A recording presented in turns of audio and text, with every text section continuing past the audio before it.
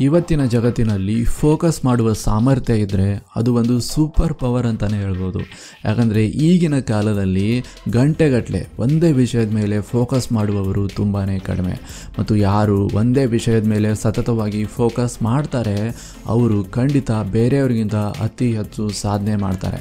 ನೀವು ಚೆನ್ನಾಗಿ ಕಾನ್ಸಂಟ್ರೇಷನ್ ಮಾಡುವುದನ್ನು ಕಲಿತರೆ ಸ್ಕೂಲಲ್ಲಿ ಓದುವುದರಲ್ಲಿ, ಕೆಲಸ ಮಾಡುವುದರಲ್ಲಿ ನಿಮಗೆ ಸಾಕಷ್ಟು ಲಾಭ ಆಗುತ್ತೆ. ನೀವು ಎಷ್ಟು ಹೆಚ್ಚು ಫೋಕಸ್ ಮಾಡ್ತೀರಾ, ಅಷ್ಟೇ ಬೇಗ ನಿಮಗೆ ಬೇಕಾಗಿರುವ ರಿಸಲ್ಟ್ ಸಿಗತ್ತೆ. ಇವತ್ತಿನ ವಿಡಿಯೋದಲ್ಲಿ ನಾನು ನಿಮಗೆ ಫೋಕಸ್ ಮಾಡೋದಕ್ಕೆ ಯಾಕೆ ಸಾಧ್ಯವಾಗುತ್ತಿಲ್ಲ ಮತ್ತು ನೀವು ಅದನ್ನು ಸುಧಾರಿಸಿಕೊಳ್ಳಲು ಏನೇನು ಮಾಡಬೇಕು ಅಂತ ಹೇಳ್ತೀನಿ. ಅದಕ್ಕೆ ಒಂದು ಪೆನ್ ಮತ್ತು ಪೇಪರ್ ತಗೊಂಡು ಈ ವಿಡಿಯೋ ನೋಡೋದಕ್ಕೆ ಕುಳಿತುಕೊಳ್ಳಿ ಅಂತ ನಾನು ನಿಮಗೆ ರಿಕ್ವೆಸ್ಟ್ ಮಾಡ್ಕೋತೀನಿ. ಯಾಕಂದರೆ ಕೆಲವು ಇಂಪಾರ್ಟೆಂಟ್ ಪಾಯಿಂಟ್ಸ್ಗಳನ್ನು ನೀವು ಬರೆದಿಟ್ಕೊಂಡ್ರೆ ನಿಮಗೆ ಅದರಿಂದ ತುಂಬಾ ಸಹಾಯ ಆಗುತ್ತೆ. So without wasting the time let's get into the video ನಾವು ಮಾನವರು ಎರಡು ರೀತಿಯ ಫೋಕಸ್ ಹೊಂದಿದ್ದೇವೆ. ಒಂದು ಸ್ಕ್ಯಾಟರ್ಡ್ ಫೋಕಸ್ ಅಂದರೆ ಚದುರಿದ ಗಮನ, ಮತ್ತು ಇನ್ನೊಂದು ಡೈರೆಕ್ಟೆಡ್ ಫೋಕಸ್ ಅಂದರೆ ನೇರ ಗಮನ. ಈ ಸ್ಕ್ಯಾಟರ್ಡ್ ಫೋಕಸ್ ಏನಂದ್ರೆ, ಒಂದೇ ಸಮಯದಲ್ಲಿ ಬೇರೆ ಬೇರೆ ಕೆಲಸ ಮಾಡುವುದಕ್ಕೆ ಪ್ರಯತ್ನ ಮಾಡುವುದು. ಅಂದರೆ ಫೋನಲ್ಲಿ ಮಾತಾಡುತ್ತಾ ಮಾತಾಡುತ್ತಾ ಹೋಮ್ವರ್ಕ್ ಕಂಪ್ಲೀಟ್ ಮಾಡುವುದು ಟಿವಿ ನೋಡುತ್ತಾ ನೋಡುತ್ತಾ ಊಟ ಮಾಡುವುದು, ಅಥವಾ ಯಾವುದಾದ್ರೂ ಒಂದು ಕೆಲಸ ಮಾಡುವಾಗ ತಲೆಯಲ್ಲಿ ಬೇರೆ ಬೇರೆ ವಿಚಾರಗಳು ಬಂದ್ರೆ, ಅವೇ ವಿಚಾರಗಳಲ್ಲಿ ಮುಳುಗಿ ಹೋಗುವುದು. ಮತ್ತು ಈ ತರ ತುಂಬಾ ಜನ ಮಾಡ್ತಾರೆ. ಅವರು ತಮ್ಮ ಗಮನವನ್ನು ಬೇರೆ ಬೇರೆ ವಿಷಯಗಳಿಗೆ ಕೊಡ್ತಾರೆ. ಈ ರೀತಿಯ ಫೋಕಸ್ ಅಲ್ಲಿ ಪ್ರಾಬ್ಲಮ್ ಏನಿದೆ ಅಂದ್ರೆ ಒಂದೇ ಸಮಯದಲ್ಲಿ ವಿವಿಧ ಕೆಲಸ ಮಾಡುವುದಕ್ಕೆ ನಿಮ್ಮ ಬ್ರೇನ್ ಕಷ್ಟಪಡುತ್ತೆ. ಯಾಕಂದ್ರೆ ಯಾವಾಗ ನೀವು ಒಂದೇ ಸಮಯದಲ್ಲಿ ಬೇರೆ ಬೇರೆ ಕೆಲಸ ಮಾಡುವುದಕ್ಕೆ ಪ್ರಯತ್ನ ಮಾಡ್ತೀರಾ, ಅವಾಗ ನೀವು ನಿಮ್ಮ ಬ್ರೇನ್ಗೆ ಒತ್ತಾಯಪೂರ್ವಕವಾಗಿ ಕೆಲಸ ಕೊಡ್ತೀರಾ. ಮತ್ತು ಅದರಿಂದ ಅನಾವಶ್ಯಕವಾಗಿ ನೀವು ನಿಮ್ಮ ಮೆಂಟಲ್ ಎನರ್ಜಿ ಹಾಳು ಮಾಡ್ತಿರ್ತೀರಾ. ಆದ್ದರಿಂದ ನಿಮ್ಮ ಯಾವುದೇ ಕೆಲಸ ಕಂಪ್ಲೀಟ್ ಆಗಲ್ಲ. ಇನ್ನೊಂದು ರೀತಿಯ ಫೋಕಸ್ ಯಾವುದಂದ್ರೆ ಡೈರೆಕ್ಟೆಡ್ ಫೋಕಸ್. ಇದರಲ್ಲಿ ಬೇರೆ ವಿಷಯಗಳನ್ನು ನಿರ್ಲಕ್ಷಿಸಿ ಕೇವಲ ಒಂದೇ ವಿಷಯದ ಮೇಲೆ ಗಮನ ಕೊಡುವುದಕ್ಕೆ ಡೈರೆಕ್ಟೆಡ್ ಫೋಕಸ್ ಅಂತಾರೆ. ಮತ್ತು ನೀವು ಈ ರೀತಿಯ ಫೋಕಸ್ ಅಳವಡಿಸಿಕೊಳ್ಬೇಕು. ಉನ್ನತ ಸಾಧಕರು ಈ ಡೈರೆಕ್ಟೆಡ್ ಫೋಕಸ್ ಫಾಲೋ ಮಾಡ್ತಿರ್ತಾರೆ. ಅವರು ಲೇಸರ್ ಬೀಮ್ ತರ ಒಂದು ಸಮಯದಲ್ಲಿ ಒಂದೇ ವಿಷಯದ ಮೇಲೆ ಫೋಕಸ್ ಮಾಡ್ತಾರೆ ಮತ್ತು ತಮ್ಮ ಪೂರ್ತಿ ಸಾಮರ್ಥ್ಯ ಕೇವಲ ಒಂದೇ ಕೆಲಸದಗೋಸ್ಕರ ಉಪಯೋಗಿಸ್ತಾರೆ. ಹಾಗಾದ್ರೆ ಈಗ ನಿಮಗೆ ಗೊತ್ತಾಗಿರುತ್ತೆ, ಈ ಸ್ಕ್ಯಾಟರ್ಡ್ ಫೋಕಸ್ ಅಂದ್ರೆ ಚದುರಿದ ಗಮನ ಬಿಟ್ಟು ಬಿಡಬೇಕು ಮತ್ತು ಡೈರೆಕ್ಟೆಡ್ ಫೋಕಸ್ ನೇರ ಗಮನ ಫಾಲೋ ಮಾಡಬೇಕು ಅಂತ. ಹಾಗಾದ್ರೆ ಈ ಸ್ಕ್ಯಾಟರ್ಡ್ ಫೋಕಸ್ ಬಿಡುವುದಕ್ಕೆ ನೀವೇನೇನು ಮಾಡಬೇಕು? ನೋಡಿ, ತುಂಬಾ ಸಿಂಪಲ್ ಇದೆ. ನೀವೇನು ಮಾಡಬೇಕು ಅಂದ್ರೆ ನಿಮ್ಮ ಎಲ್ಲ ಡಿಸ್ಟ್ರಾಕ್ಷನ್ಸ್ಗಳನ್ನು ಗೊಂದಲಗಳನ್ನು ನಿಮ್ಮ ತಲೆಯಿಂದ ತೆಗೆದುಹಾಕಬೇಕು ಮತ್ತು ನಿಮ್ಮ ಏಕಾಗ್ರತೆಗೆ ಹಾನಿ ಉಂಟು ಮಾಡುವ ಎಲ್ಲ ಪ್ರಚೋದನೆಗಳನ್ನು ತಪ್ಪಿಸಬೇಕು. ಈಗ ಅನ್ಕೊಳ್ಳಿ, ನಿಮ್ಮ ಹತ್ತಿರ ಐದು ಯೂನಿಟ್ಸ್ ಅಷ್ಟು ಫೋಕಸ್ ಇದೆ ಅಂತ.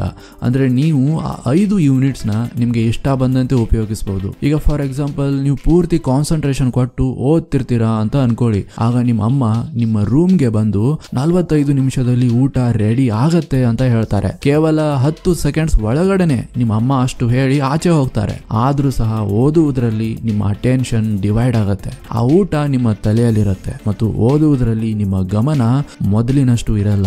ನಿಮ್ಮ ಒಂದು ಯೂನಿಟ್ ಆ ಊಟದ ಬಗ್ಗೆ ಯೋಚನೆ ಮಾಡುವುದಕ್ಕೆ ಶುರು ಮಾಡುತ್ತೆ. ಮತ್ತೆ ನಿಮ್ಮ ಸಂಪೂರ್ಣ ಗಮನವನ್ನು ಮರಳಿ ಪಡೆಯುವುದಕ್ಕೆ ನಿಮ್ಮ ಬ್ರೈನ್ ಕಷ್ಟಪಡುತ್ತೆ. ಮತ್ತು ಈ ಪ್ರಕ್ರಿಯೆಯಲ್ಲಿ ನಿಮ್ಮ ಮೆಂಟಲ್ ಎನರ್ಜಿಯನ್ನು ನೀವು ವ್ಯರ್ಥ ಮಾಡ್ತೀರಾ? ಒಂದು ತಮಾಷೆಯ ವಿಷಯ ಏನಂದ್ರೆ, ನಿಮ್ಮ ಗಮನ ಸೆಳೆಯುವ ಅಮ್ಮನನ್ನು ಯಾವಾಗಲೂ ನಿಮ್ಮ ಜೊತೆನೆ ಒಯ್ತೀರಾ? ಆ ಅಮ್ಮ ಯಾರಂದ್ರೆ, ನಿಮ್ಮ ಮೊಬೈಲ್ ಫೋನ್. ಈ ಚಿಕ್ಕ ಡಿವೈಸ್ ನಿಮ್ಮ ಎಲ್ಲ ಫೋಕಸ್ ಹಾಳು ಮಾಡುತ್ತೆ. ಇದು ರಿಂಗ್ ಆಗುತ್ತೆ ವೈಬ್ರೇಟ್ ಆಗುತ್ತೆ. ಏನಾದರೂ ಹೊಸ ನೋಟಿಫಿಕೇಶನ್ ಬಂದ್ರೆ ಸೌಂಡ್ ಮಾಡುತ್ತೆ. ಅದರಿಂದ ನಿಮ್ಮ ಎಲ್ಲ ಫೋಕಸ್ ಹಾಳಾಗತ್ತೆ. ಹಾಗಂತ ನಿಮ್ಮ ಫೋನ್ನ ಆಚೆ ಎಸೀರಿ ಅಂತ ನಾನು ನಿಮ್ಗೆ ಹೇಳ್ತಾ ಇಲ್ಲ.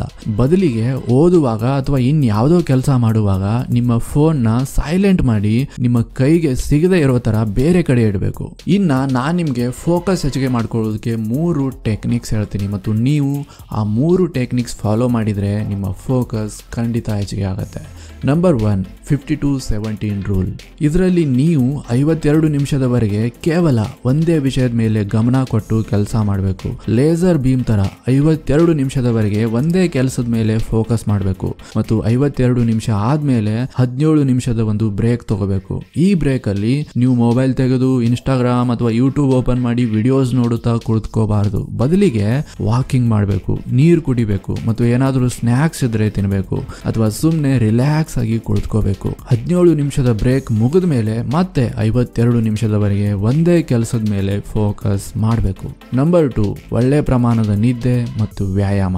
ಒಂದು ರಿಸರ್ಚ್ ಅಲ್ಲಿ ಏನ್ ಗೊತ್ತಾಗಿದೆ ಅಂದ್ರೆ ದಿನಕ್ಕೆ ಏಳು ಗಂಟೆಗಳಿಗಿಂತ ಕಡಿಮೆ ನಿದ್ದೆ ಮಾಡಿದ್ರೆ ನಮ್ಮ ಏಕಾಗ್ರತೆಗೆ ಹಾನಿ ಆಗತ್ತೆ. ರಾತ್ರಿ ಹೊತ್ತಿನಲ್ಲಿ ಏಳರಿಂದ ಎಂಟು ಗಂಟೆ ನಿದ್ದೆ ಮಾಡಿದ್ರೆ ಪೂರ್ತಿ ದಿನದಲ್ಲಿ ಚೆನ್ನಾಗಿ ಫೋಕಸ್ ಮಾಡೋದಕ್ಕೆ ಕಾನ್ಸಂಟ್ರೇಷನ್ ಮಾಡೋದಕ್ಕೆ ಸಹಾಯ ಆಗತ್ತೆ ಅಂತ ಒಂದು ರಿಸರ್ಚ್ ಅಲ್ಲಿ ಗೊತ್ತಾಗಿದೆ. ವ್ಯಾಯಾಮ ಕೂಡ ಪ್ರತಿನಿತ್ಯ ಮಾಡಲೇಬೇಕಾದ ಕೆಲಸ. ಪ್ರತಿದಿನ ಕೇವಲ ಹತ್ತು ನಿಮಿಷನೇ ವ್ಯಾಯಾಮ ಮಾಡಿದ್ರೆ ಡೋಪಮೈನ್, ನಿರೋಫಿನೆಫ್ರಿನ್, ಸೆರೋಟೋನಿನ್ ಕೆಮಿಕಲ್ಸ್ಗಳು ನಮ್ಮ ಬ್ರೇನ್ ಅಲ್ಲಿ ಉತ್ಪಾದನೆ ಆಗುತ್ತವೆ. ಅದರಿಂದ ನಮ್ಮ ಬ್ರೇನ್ ಹೈಲಿ ಆಕ್ಟಿವ್ ಆಗುತ್ತೆ ಮತ್ತು ನಿಮಗೆ ಫೋಕಸ್ ಮಾಡುವುದಕ್ಕೆ ಸಹಾಯ ಮಾಡುತ್ತೆ. ನಂಬರ್ ತ್ರೀ ಮೆಡಿಟೇಷನ್ ಮೆಡಿಟೇಷನ್ ದಿಂದ ಆಗುವ ಸಾವಿರಾರು ಬೆನಿಫಿಟ್ಸ್ಗಳಲ್ಲಿ ಎಲ್ಲದಕ್ಕಿಂತ ಅತಿ ದೊಡ್ಡ ಬೆನಿಫಿಟ್ ಯಾವುದಂದ್ರೆ ನಿಮ್ಮ ಫೋಕಸ್ ಮತ್ತು ಕಾನ್ಸಂಟ್ರೇಷನ್ ಲೆವೆಲ್ ತುಂಬಾ ಹೆಚ್ಚಾಗುತ್ತೆ. ಮೆಡಿಟೇಷನ್ ಮಾಡುವಾಗ ನೀವು ನಿಮ್ಮ ಫೋಕಸ್ ಅನ್ನು ಪದೇ ಪದೇ ನಿಮ್ಮ ಬ್ರೀದಿಂಗ್ ಮೇಲೆ ಒಯ್ತೀರಾ? ಅದು ನಿಮ್ಮ ಬ್ರೇನ್ನ ಟ್ರೈನ್ ಮಾಡುತ್ತೆ, ಒಂದೇ ವಿಷಯದ ಮೇಲೆ ಫೋಕಸ್ ಮಾಡುವುದಕ್ಕೆ. ಅದಕ್ಕೆ ಪ್ರತಿದಿನ ಈ ಟ್ರೈನಿಂಗ್ ತಗೊಳ್ಳಿ. ಮೆಡಿಟೇಷನ್ ನಿಮ್ಮ ಬ್ರೇನ್ ನ ರಿಲ್ಯಾಕ್ಸ್ ಮಾಡುತ್ತೆ ಮತ್ತು ಅದರಿಂದ ನಿಮ್ಮ ಇಮೋಷನ್ಸ್ ಕಂಟ್ರೋಲ್ ಆಗುತ್ತೆ. ಇಮೋಷನ್ಸ್ ಕಂಟ್ರೋಲ್ ಆದ್ರೆ ನಿಮ್ಮ ಬಾಡಿ ಕಂಟ್ರೋಲ್ ಅಲ್ಲಿ ಇರುತ್ತೆ. ಬಾಡಿ ಕಂಟ್ರೋಲ್ ಅಲ್ಲಿ ಇದ್ರೆ ಮೈಂಡ್ ಕಂಟ್ರೋಲ್ ಅಲ್ಲಿ ಇರುತ್ತೆ. ಮತ್ತು ಮೈಂಡ್ ಕಂಟ್ರೋಲ್ ಅಲ್ಲಿ ಇದ್ರೆ ನಿಮ್ಮ ಫೋಕಸ್ ಮತ್ತು ಕಾನ್ಸಂಟ್ರೇಷನ್ ತುಂಬಾ ಹೆಚ್ಚಾಗತ್ತೆ. ನಿಮ್ಮ ಮೇಲೆ ನಿಮ್ಮ ಎಷ್ಟು ಹೆಚ್ಚು ಕಂಟ್ರೋಲ್ ಇರುತ್ತೆ, ಅಷ್ಟೇ ಹೆಚ್ಚು ಚಾನ್ಸ್ ಇರುತ್ತೆ, ನೀವು ಸಕ್ಸಸ್ಫುಲ್ ಆಗುವುದು. ಅದಕ್ಕೆ ಪ್ರತಿದಿನ ನಿಮ್ಮ ಫೋಕಸ್ ಮತ್ತು ಕಾನ್ಸಂಟ್ರೇಷನ್ ಹೆಚ್ಚಿಗೆ ಮಾಡುವುದಕ್ಕೆ ಬೆಸ್ಟ್ ಮತ್ತು ಸಿಂಪಲ್ ಟೆಕ್ನಿಕ್ ಯಾವುದಂದ್ರೆ ಮೆಡಿಟೇಷನ್ ನೆನಪಿಡಿ ಕಾನ್ಸಂಟ್ರೇಷನ್ ಮಾಡುವುದು ಅಥವಾ ಫೋಕಸ್ ಮಾಡುವುದು ಒಂದು ಸ್ಕಿಲ್ ನೀವು ಹೇಗೆ ನಿಮ್ಮ ಮಸಲ್ ಬಿಲ್ಡ್ ಮಾಡುವುದಕ್ಕೆ ಜಿಮ್ಗೆ ಹೋಗಿ ಟ್ರೈನಿಂಗ್ ತಗೋತೀರಾ, ಹಾಗೆ ನಿಮ್ಮ ಫೋಕಸ್ ಹೆಚ್ಚಿಗೆ ಆಗಬೇಕು ಅಂದ್ರೆ ನೀವು ಪ್ರತಿದಿನ ಈ ಡೈರೆಕ್ಟೆಡ್ ಫೋಕಸ್ ಪ್ರಾಕ್ಟೀಸ್ ಮಾಡಬೇಕು. ಸ್ಟಾರ್ಟಿಂಗಲ್ಲಿ ನೀವು ಕೇವಲ ಹತ್ತು ನಿಮಿಷನೇ ಫೋಕಸ್ ಮಾಡಬಹುದು ಆದರೆ ಪ್ರತಿದಿನ ನೀವು ಫೋಕಸ್ ಮಾಡುವುದಕ್ಕೆ ಪ್ರಾಕ್ಟೀಸ್ ಮಾಡಿದ್ರೆ ಕಾನ್ಸಂಟ್ರೇಷನ್ ಮಾಡುವ ಎಬಿಲಿಟಿ ನಿಮ್ಮಲ್ಲಿ ಹೆಚ್ಚಾಗುತ್ತೆ ಮತ್ತು ಆಮೇಲೆ ನೀವು ಗಂಟೆಗಟ್ಟಲೆ ಫೋಕಸ್ ಮಾಡುವುದಕ್ಕೆ ಶುರು ಮಾಡ್ತೀರಾ. ಈ ವಿಡಿಯೋದಿಂದ ನಿಮಗೆ ಸಹಾಯ ಆಗುತ್ತೆ ಅಂತ ಅನ್ಕೋತೀನಿ ಮತ್ತು ನಿಮಗೆ ಏನಾದರೂ ಡೌಟ್ ಇದ್ರೆ ನೀವು ಡೈರೆಕ್ಟ್ಲಿ ನನಗೆ ಕೇಳಬಹುದು ನನ್ನ ಇನ್ಸ್ಟಾಗ್ರಾಮ್ ಐ ಡಿ ಕೆಳಗಡೆ ಡಿಸ್ಕ್ರಿಪ್ಷನ್ದಲ್ಲಿ ಕೊಟ್ಟಿರ್ತೀನಿ. ನೀವು ಅಲ್ಲಿ ಹೋಗಿ ನಿಮ್ಮ ಡೌಟ್ಸ್ನ ನನಗೆ ಡಿ ಎಂ ಮಾಡಿ ಕೇಳಬಹುದು ವಿಡಿಯೋ ಇಷ್ಟ ಆಗಿದ್ರೆ ಲೈಕ್ ಮಾಡುವುದನ್ನು ಮರಿಬೇಡಿ. ಯಾಕಂದರೆ ನಿಮ್ಮ ಪ್ರತಿಯೊಂದು ಲೈಕ್ ನನಗೆ ಮೋಟಿವೇಶನ್ ಕೊಡುತ್ತೆ ಇನ್ನೂ ಹೆಚ್ಚು ವಿಡಿಯೋಸ್ ಮಾಡುವುದಕ್ಕೆ. ಮತ್ತು ಯಾವ ಯಾವ ಟಾಪಿಕ್ಸ್ ಮೇಲೆ ನಿಮಗೆ ವಿಡಿಯೋಸ್ ಬೇಕು ಅಂತ ಕಮೆಂಟ್ ಮಾಡಿ, ಖಂಡಿತ ಹೇಳಿ. ಮತ್ತು ಇದೇ ಥರ ಇಂಟ್ರೆಸ್ಟಿಂಗ್ ವಿಡಿಯೋಸ್ಗೋಸ್ಕರ ನಮ್ಮ ಚಾನಲ್ಗೆ ತಪ್ಪದೇ ಸಬ್ಸ್ಕ್ರೈಬ್ ಮಾಡ್ಕೊಳ್ಳಿ. And finally thank you for watching